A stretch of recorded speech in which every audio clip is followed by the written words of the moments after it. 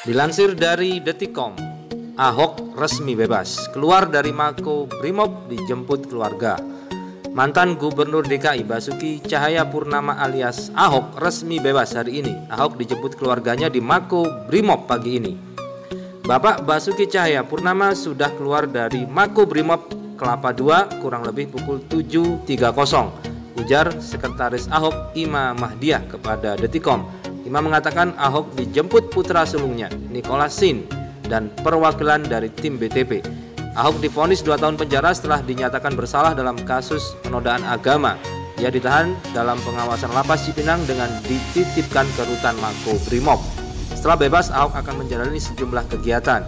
Ia akan bertemu dengan keluarga di suatu tempat lalu kabarnya akan bertemu dengan pendukungnya siang ini. Ahok juga dikabarkan akan melangsungkan pernikahan bulan depan. Ahok akan menikahi Bribda Puput, mantan ajudan Veronika Tan, mantan istri Ahok.